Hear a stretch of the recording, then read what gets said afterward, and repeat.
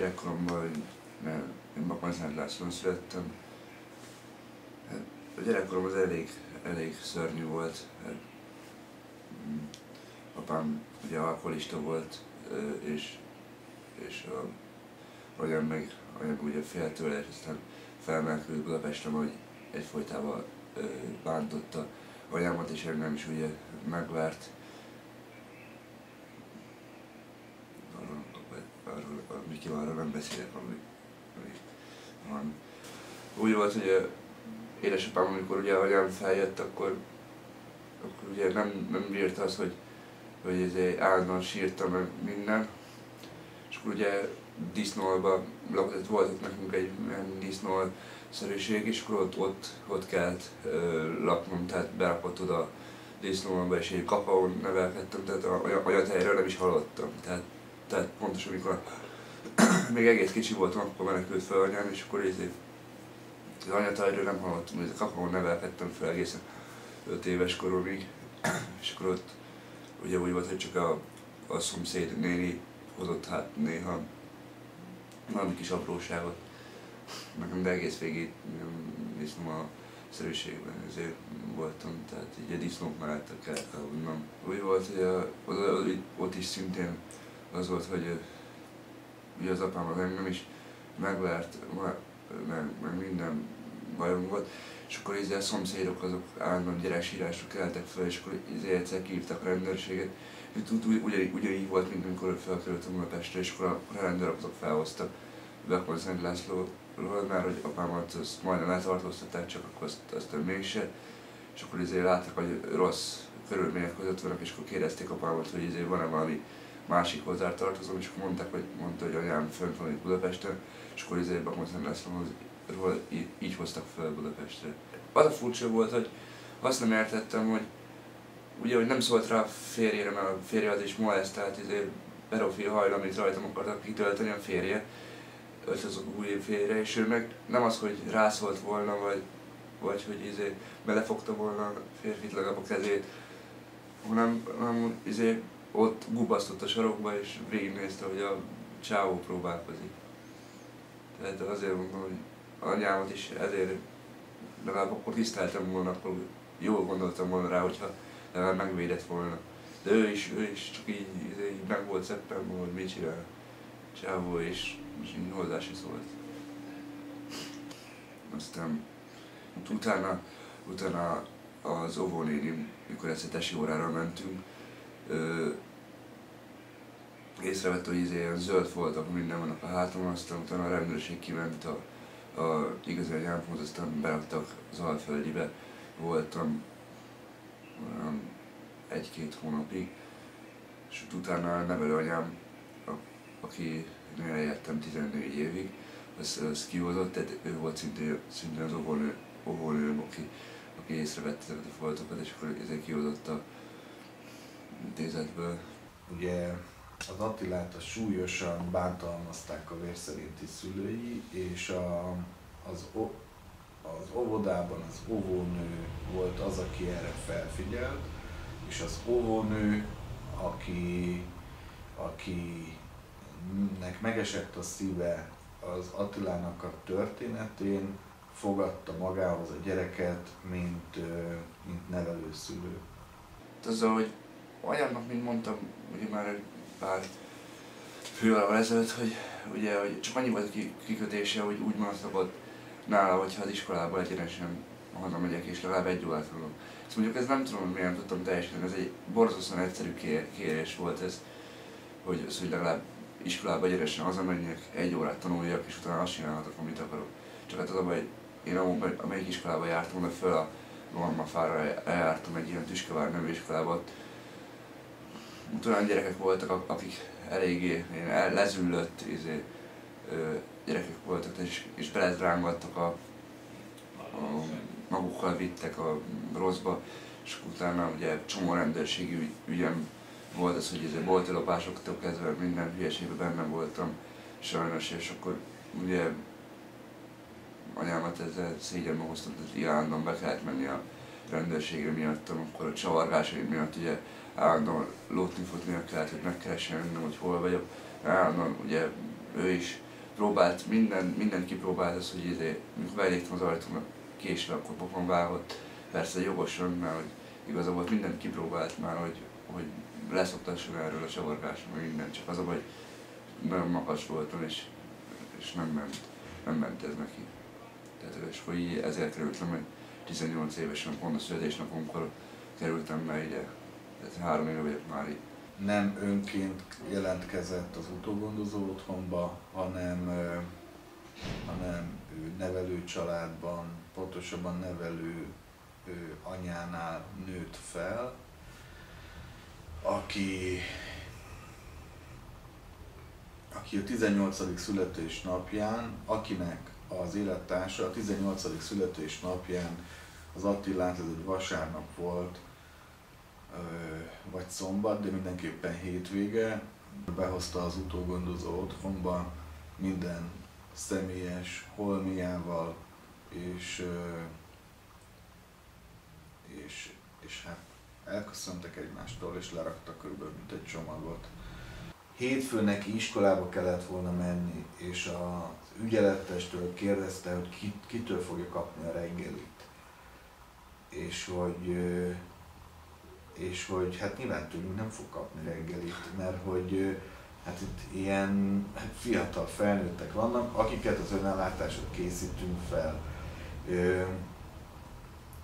Aztán utána én beszéltem vele, és hogy hát hogy konkrétan a kakaót várta azon a reggelen, mármint a második reggelen, ami szinte elképzelhetetlen egy ilyen közegben, amiben nincsen kakaó, meg nincsen az, hogy bármelyik kollégám odaválna, és Attila ébresztő itt a kakaód, és hogy ott van a vajaskeny. Szóval, hogy ez egy irgalmatlan nagy törés, és így az a fajta indulat, amit nyilván lehetett érezni, amit én beszélek az általános nevelő szülőről és erről is, az ebből táplálkozik, pont ebből az élményekből táplálkozik.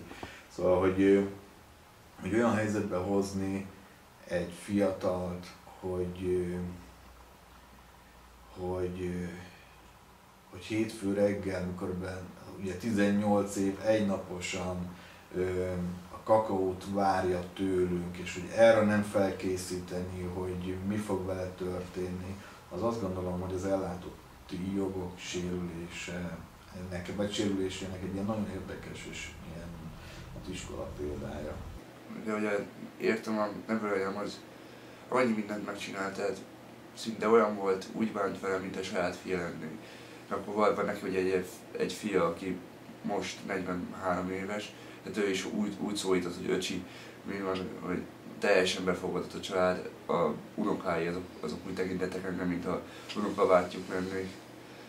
Meg minden, meg hogy minden évben, mint mondtam, ugye táborok, táborokban, három táborban voltam, mindenem meg volt, ruháim, csak hát az a baj, hogy ugye 10, 10, 15 éves koromig rendesen ugye rendszer, rendszer, rendszeresen sportoltam, de vízlabdától kezdve fociig, tenisz, akkor Shaolin Kung Fu-ztam is, meg ilyesmi, de szinte minden sportot kipróbáltam 15 éves koromig. Csak utána bekerültem egy olyan iskolába, ahol, ahol rossz társasági körül keveredtem, és 15 éves koromtól kezdve így süllyedek lefelé.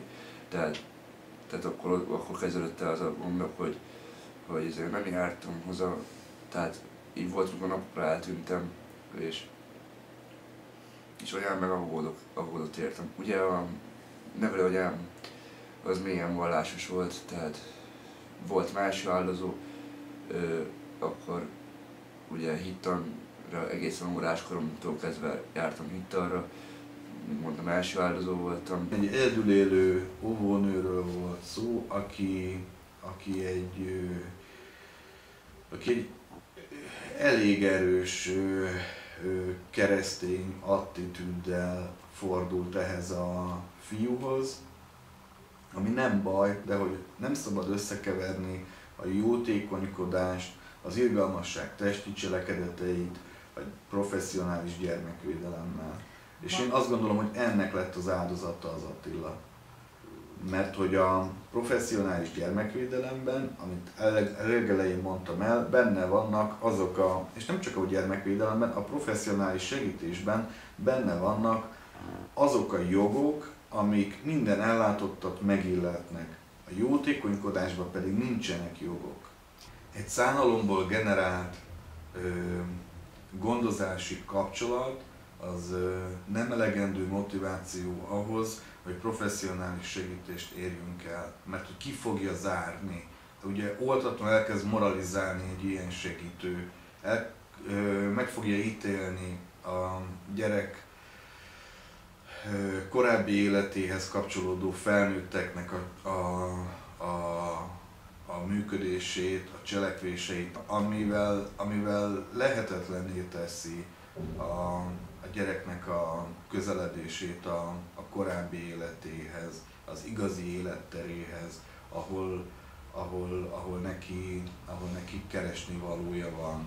Ez ilyenfajta kapcsolatból egyetlen egy ember tud jól kijönni, a segítő, mert hogy a, a saját egóját építi azzal, hogy, hogy, hogy bebizonyítja magának, a családjának, a külvilágnak, adott esetben a gyerek iskolai közegének, tanároknak, nem tudom én kicsodáknak, hogy ő mennyire jó ember, hiszen egy ilyen nagyon-nagyon nehéz helyzetben lévő, szerencsétlen gyermeket, idős embert, fogyatékos embert, nem tudom, cigány embert, zsidó embert a keblére tudott ölelni, és, és viszi a hátán. Nyilván van másodlagos hozadéka, hogy a segítettnek is adott esetben rövidebb, hosszabb ideig rövidebb, hosszabb ideig megvan oldva a, az élete. És te úgy 14 évig éltem ott, szinte mindenem meg volt, ruhától kezdve, szép, tövérdek izé, táborba mentem, voltam, vagy 30 táborba éltem során, minden meg volt kaja, oda készítve reggeli, ebéd, vacsora az asztalra, tehát így probléma nem volt semmivel. Azt utána talán sok csavargás miatt, meg az, hogy vagy annak az volt a kikötés, akkor voltatok nála, hogyha legalább egy órát tanulok, és, és, és hazajövök egyenes az iskolába. És akkor ezt nem tudtam megcsinálni, és akkor miatt bekerültem ide. És tudom, hogy ez egy erős szó, ez a bántalmazás. És hogy nyilván azért erős szó, mert hogy a gyermekvédelmi rendszeren belül mondom én azt, hogy bántalmazzák ezeket a gyerekeket. A bántalmazás az nem, nem pusztán a verés, meg, a, meg a, az éheztetés, meg, a, meg az alulöltözöttségben nyilvánul meg, hanem a, az érzelmi kizsákmányolásban, ami, ami hát mi felnőttek is mennyire védtelenek vagyunk, amikor egy másik felnőtt érzelmileg kezd el bennünket zsarolni, akkor egy gyerek, akinek a, a személyisége nem fejlődött még ki, és és hogy azok a védekezési mechanizmusok, amiket mi az idők folyamán felszedtünk, hogy meg tudjuk magunkat védeni egy zsarnok felnőttel szemben, neki nem sajátja, hát sokkal ezerszer jobban kiszolgáltatott, mint, mint, mint más embergyerek.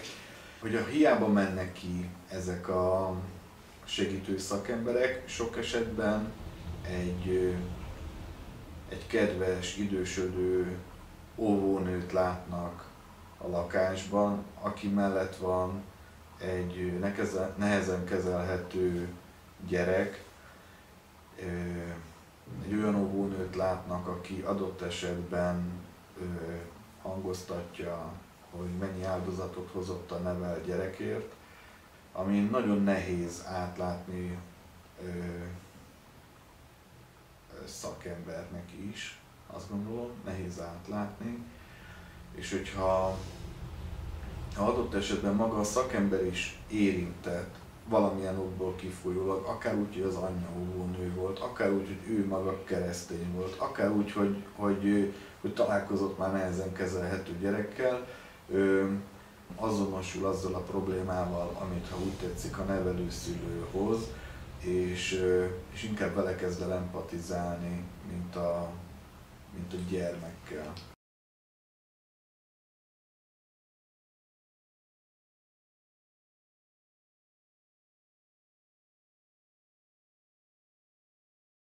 Az apámról csak annyit tudok, hogy van egy már nagyon régóta, több éve van egy másik felesége, mégis még ugyanúgy alkoholizált, tehát van apáról, apárom két öcsém van, meg, meg egy húgom, és csak ez, ez most se hagyta abba azt a pedofil hajlamait, amit, és ezt most a húgá, húgomon éli ki, tehát ilyen eléggé perverz dolgokat csinál vele. Most, most állítta azt hiszem Pécs, Pécs vagy nem tudom hol, de, jó messze ott valahol vidéken. Most egy új, az új családjával. Anyámról meg annyit tudok, hogy ott, ott lakik az Alkotás utcán, Alkotás utcán a TF testnevelési egyetem már szemben. És őnek is, őnek is van ugyan, ugyanaz a férj, férfivel jár, aki, akivel 16 évvel ezelőtt jött össze. Aztán most ők meg vannak, ennyit tudok róluk. És szoktál találkozni vele? Anyámmal? Nem, nem. Nem. 16 éve nem láttam. Uh-huh. Amikor az utoljára láttam két éves. És ő nem keresett? Hát egyszer úgy volt, hogy, hogy ö, Ivivel ráírtam egy levelet, visszaküldte, hogy izé szívesen beszélgetne velem, izé szívesen találkozna. Akkor utána eltelt, eltelt két hónap, és akkor izé gondoltam, felveszem MSN-en, felvettem MSN-en, beszéltem vele egy két órát, és utána mondta, hogy hát majd valamikor kerít rá időt, majd akkor visszaír, visszaír Ivivel, hogy mi van, és ez volt ide egy évvel ezelőtt, tehát egy évvel, egy évvel beszéltem vele, tehát így Facebookon, és MSN-en beszéltem vele egy két órát, elmondtuk, elmondtam azt, hogy hiányzik, minden, hogy jó lenne látni, azt mondta, hogy nagyon sok teendői vannak, mert neki is van még két gyerek rajtam kívül, azok nagyon sok teendői vannak, meg hogy majd egyszer valamikor izé szakít rám időt. Csak hát azóta eltelt egy év se, semmi se volt. Az Attila, azt gondolom, hogy ő, a, ő, ő az, aki mindig támogatásra fog szorulni, és, a, és az a fajta támogatás, amit ő igényel, az arra, arra az én ismereteim szerint nincsen ellátóhely. Az Attilával megbuktunk. Nagyon nehéz, mert ugyanakkor semmiféle pszichológiai és orvosi vélemény nem alapozza meg azt a feltételezésünket, hogy valami komolyabb mentális problémája lenne. Most már nagyon nehéz is lesz ilyen papírt beszerezni, mert hogy, hogy hát nyilván az jár a fejünkben, hogy a hosszú távú ellátását valahogy meg kéne oldani a szociális ellátáson belül. Nyilván mindjárt ki fog öregedni a gyermekvédelmi ellátásból, a szakellátásból, de hogy nem fogunk tudni szerezni olyan, olyan igazolást, szakértői igazolást, ami megalapozná azt, hogy ő egy szociális otthonban férőhelyre találjon. Attilából véleményem szerint hajléktalan lesz. Nagy valószínűséggel egy hajléktalan fiúval állunk szemben. Thank you.